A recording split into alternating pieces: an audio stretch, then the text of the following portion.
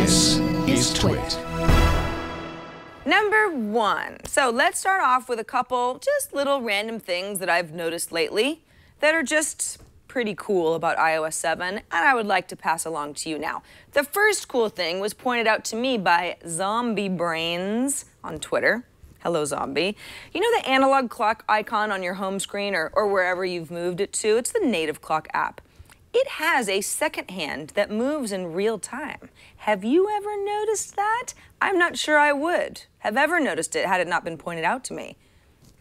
Here's another cool thing. I told you recently about Tweetbot 3, which is my very favorite third-party Twitter app. Just got a nice, nice new update. Not even an update, it's a standalone app. One of the only things I didn't love, though, about the new app and the new look were the rounded profile pictures in my feed. I felt like they seemed out of place somehow.